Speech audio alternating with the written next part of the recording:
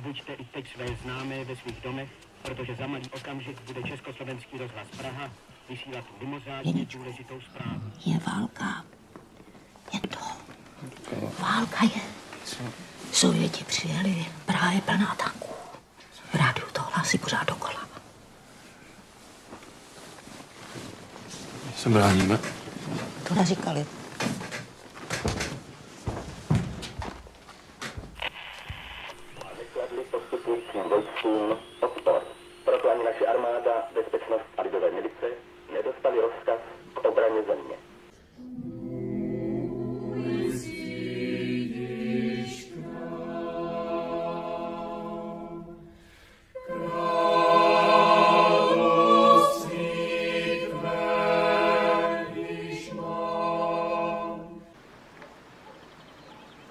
Mě přijali! No, no.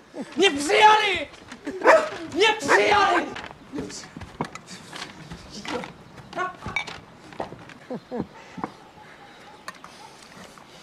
Mami, ten dopis byl otevřený. Jo, Takže ty mi otvíráš dopisy. no. Úřední. Vy jste to věděli? Brácha? Mami, ty mi zase otvíráš dopisy. Ano, úřední. Ale moje.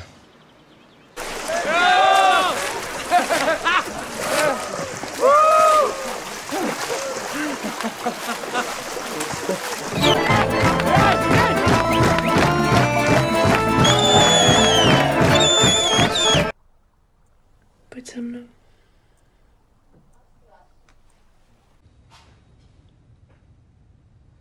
On nás u toho povzbuzoval.